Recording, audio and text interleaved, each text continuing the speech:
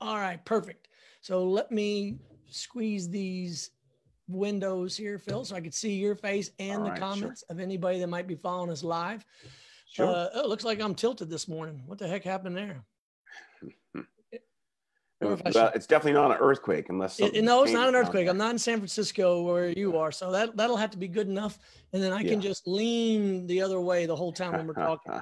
but uh, Phil, like I say, I want to thank you for uh, joining me this morning. The whole purpose of these video interviews kind of is multifold.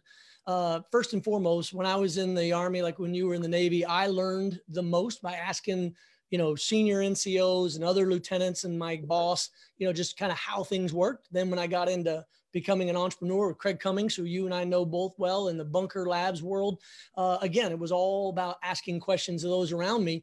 And mm-hmm. what's different about COVID is in all those cases, all those other people had been there, done that ahead of us. Mm-hmm. In the world sure. of COVID, there's very little precedent for what we're going through. So when I spent the first half of March asking people, what do you think the changes are? How do we need to adapt? What can we be doing differently? I realized after like the fifth conversation, these are great nuggets of wisdom that I'm getting mm-hmm. from all these smart people. So why not share them? And the yeah. extrovert in me just had to get out there. So as I told you on the phone beforehand, you know, the, the people we're thinking about most are the sick and those that are on the front lines caring for them. That second group are those that immediately find themselves out of work and not quite sure how they're going to pay bills, but they need the resources, and hopefully we can mm-hmm. uh, give some guidance there. But then, thirdly, where where I think my skill set lends the most value to be able to help are those small businesses, those entrepreneurs, those startups that are trying to process all this information coming at them and then finding a way forward. And so, Phil, for anybody that doesn't know Phil Dillard, uh, the perfect person to talk to about all these. When you look at his LinkedIn profile, you'll wonder when he ever has time to sleep in terms of all the activities in from being a coach, a mentor, uh, a thought leader, uh, a team builder. Uh, you're all over the place, Phil, for all the right reasons. And I was excited uh, when you said you'd come on to the show live here to talk about your experiences. And I want to tee you up by what you just said before we started rolling the camera let's go back to that point. You're looking at COVID and this disruption through 3 mm-hmm. lenses urgent lens of how we need to respond immediately. The second lens are those um, what is it more of the situational change? What was the second? How do you describe the second? So the first lens is, is urgent. The second is systematic, and third right. and then the third, right? The third, I think, is that foundational change. And mm-hmm. we're going to hopefully in our 20, 25, 30 minutes together get into each one of those elements. Uh, but with that, I just want to say thank you for being here again this morning. Uh, how are you doing? How are you adjusting personally? And then let's jump into your three areas that you think are important. Yeah, sure, Joe. Thanks for having me. It's really great to be here. It's good to, to have a conversation with you. And yeah, thanks for asking about, you know, how I'm doing. I'm I'm here in San Francisco. I haven't really left the house more for for anything more than groceries in the past month.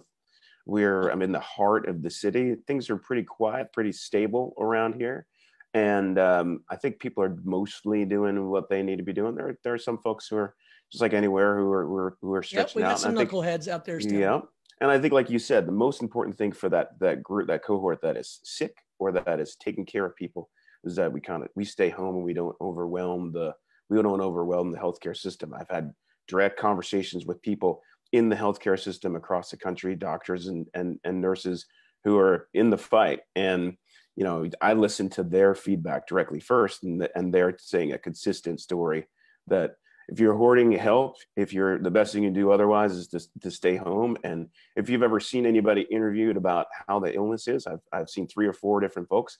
It's horrible. Yep. And uh, I don't want any part of it. I don't want anybody, you know, my, my immunocompromised parents to have any part of it or, or anybody else. We're all in hot spots. So we're really concerned about that. But what we've been doing is bonding together as a family. We're like, weekly uh, Zoom calls and regular daily chats on group chats and that sort of thing. So we're leveraging social media as a family right. to stay tight and to keep each other up because it's a tough time for everybody. You know? Yeah.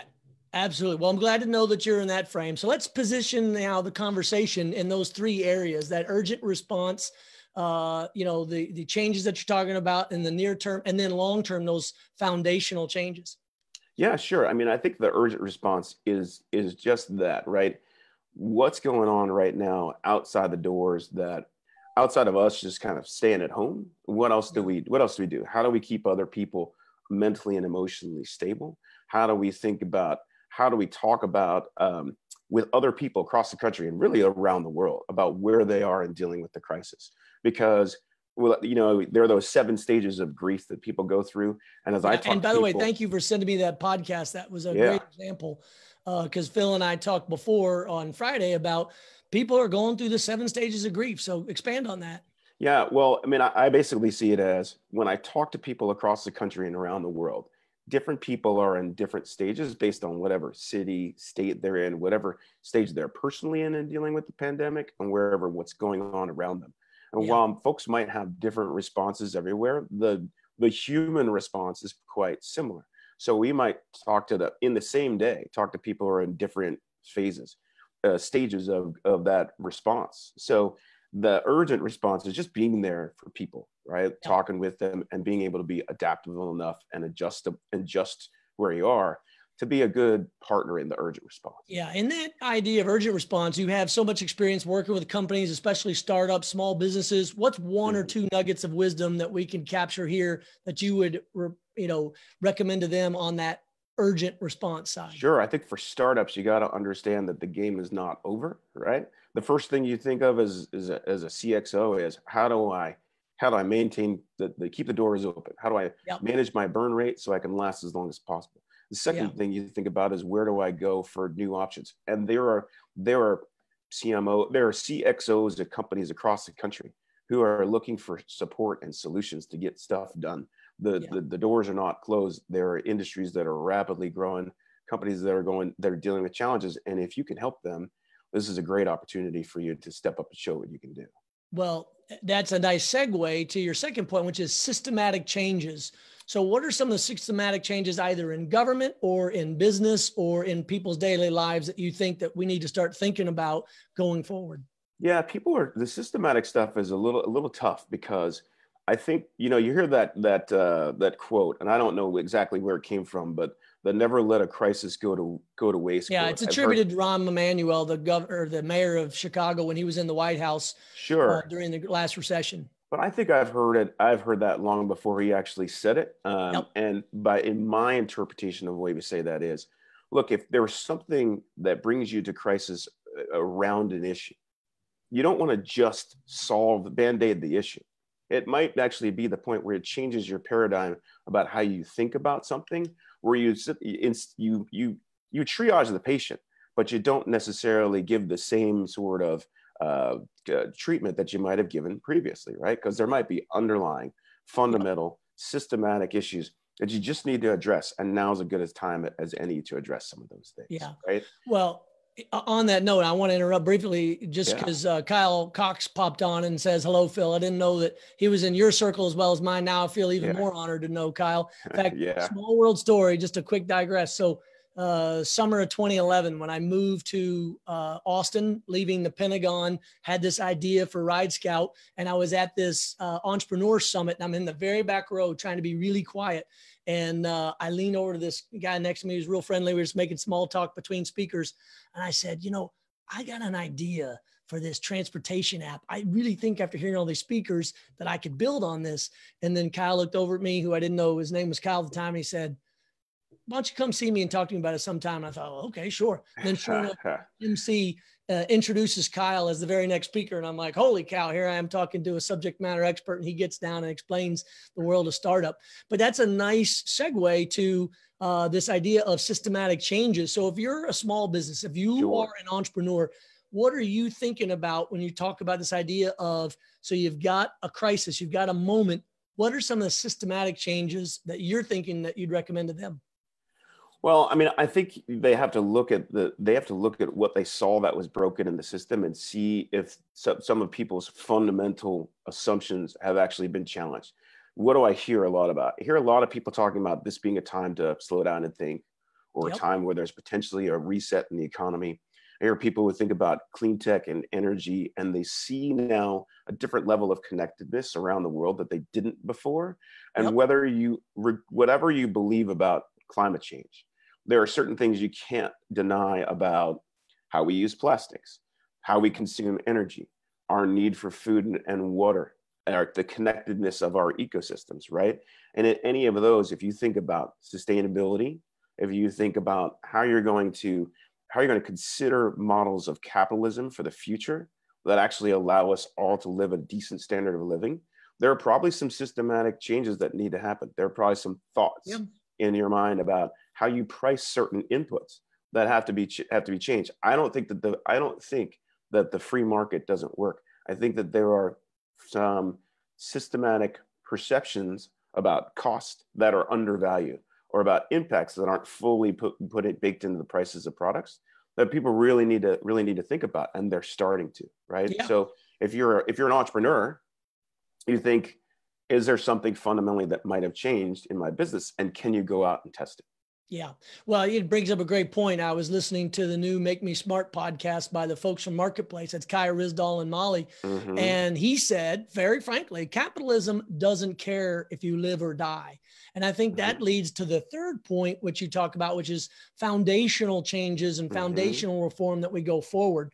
So if there's ever a debate between capitalism and socialism, I'm choosing capitalism every day of the week. Sure. However, we can see now why there needs to be a better social safety net for a mm-hmm. lot of mm-hmm. people that are left out.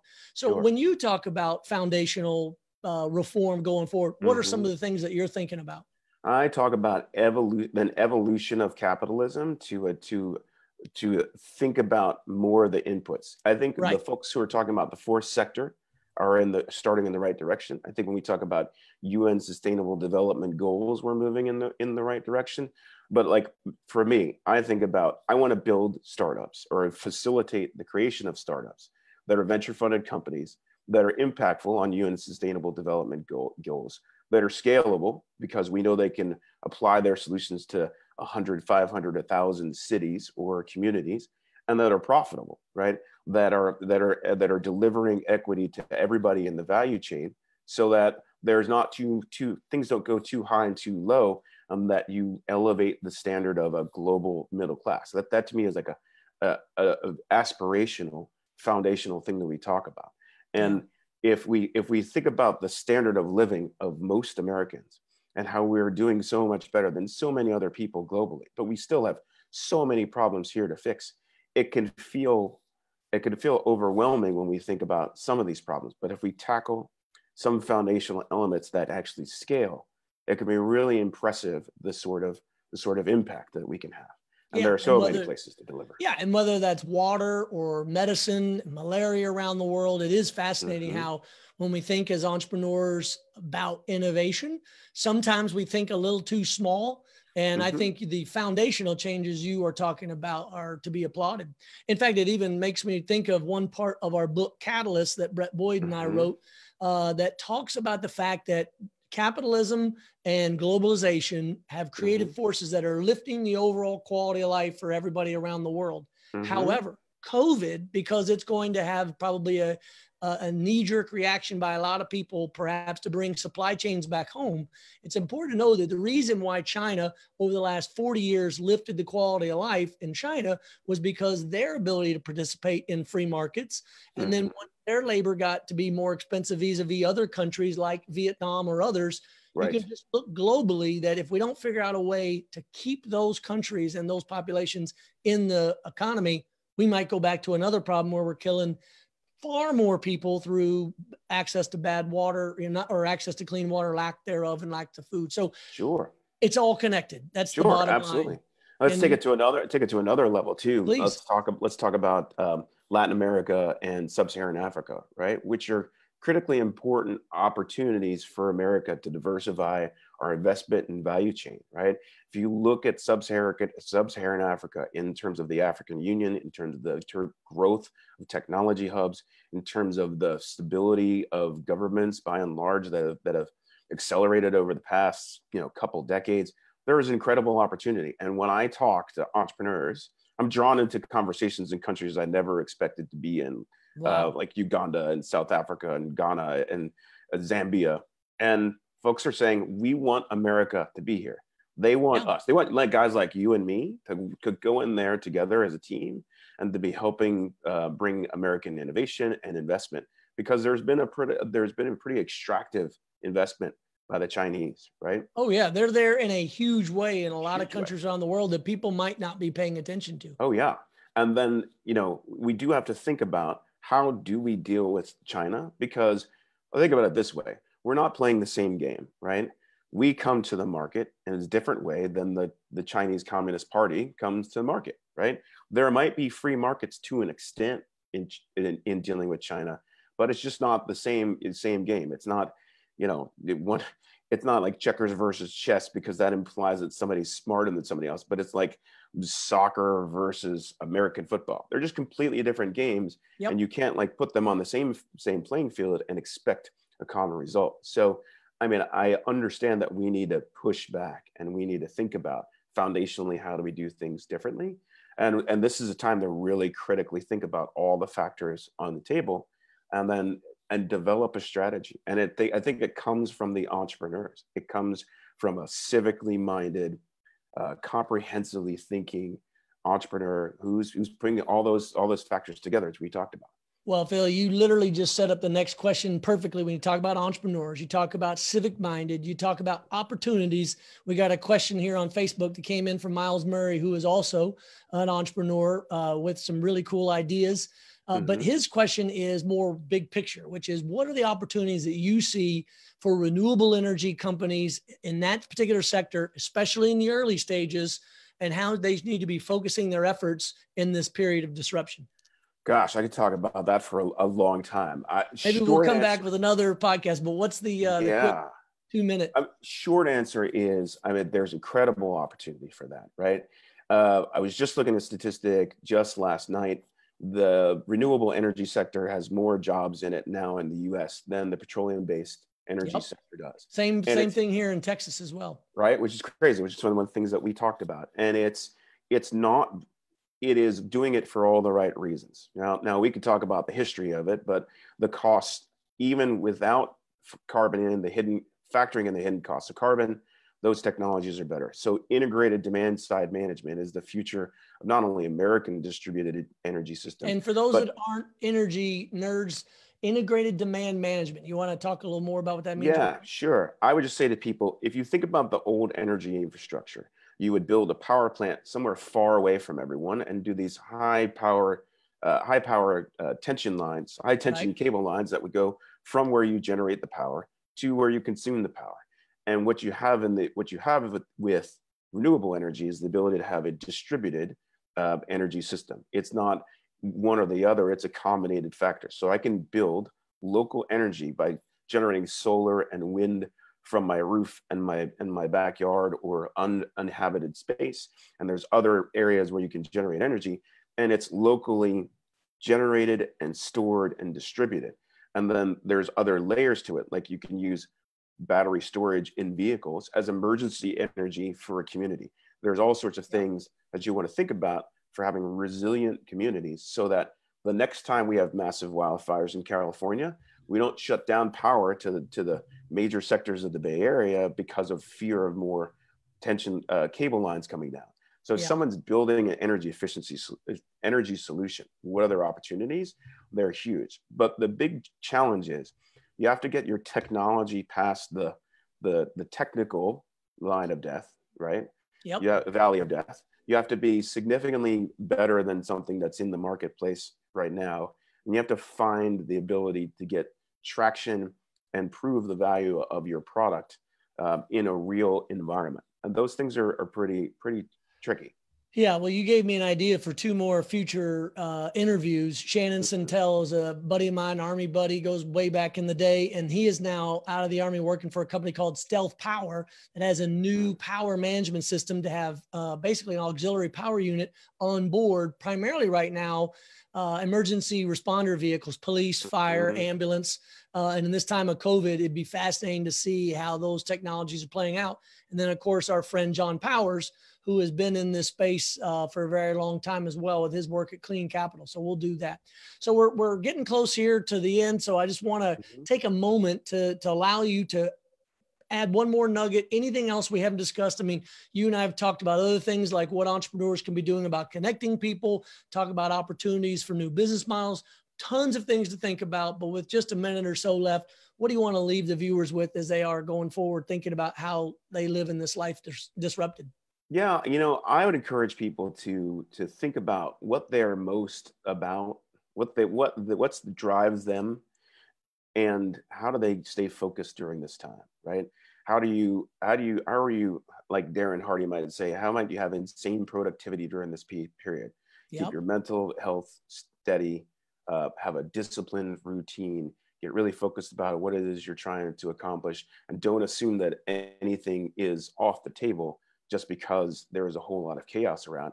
There is a great opportunity to engage with people and bring things forward. I'd inspire people to do it i think these conversations are critically important. I've been working with my partners to try and de- develop similar sort of conversations.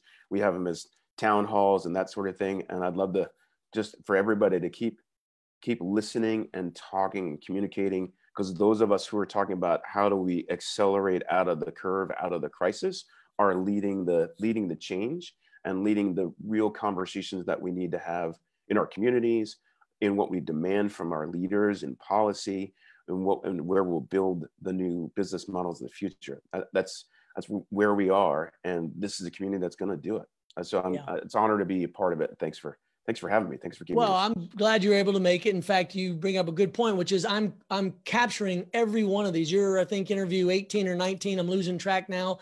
Uh, I've got a Medium post where I basically just stream them one after the other. People can use various hashtags to see what they're most interested in uh, and listen or re-listen uh, to some of those. And then I'll also ask you as I move this over onto LinkedIn, so it's there as well. You brought up a lot of great ideas. You mentioned some podcasts. Since I'm a one-man band, I'm doing more uh, listening to you than I am taking notes. So anything that once we post it in LinkedIn or even on Facebook, you can add those links. That'd be very helpful, and to your own work, so people can learn more about what your organization is doing like I say, when you read your LinkedIn about section, uh, I don't even know when you sleep, Phil, but it's good. It's good to know that you're doing it. So we end like we do every time, which is to remember that it's those that are sick and those that are on the front lines caring for them are first in our thoughts. 2nd mm-hmm. right behind them, of course, are to make sure that the people that are immediately out of work have the resources and keep that optimism when I know it is stressful to be able to figure out how you're mm-hmm. going to make ends meet. And then that third group that I'm trying to help the most, because that's where my skill sets are, are those small businesses and entrepreneurs trying to figure out how they retool. And as you said, figure out their urgent response. Secondly, mm-hmm. their systematic changes. And then long term, their foundational reforms, which, by the way, I love all three of those. And I'm going to be repeating those and giving you credit going forward because that really is how we need to be thinking about this. So, to everyone that's out there, stay home, save lives, do the right thing, and uh, we'll get through this together. Thanks again, Phil, for being a part of this. Thanks, Joe. Great to be here. Take care.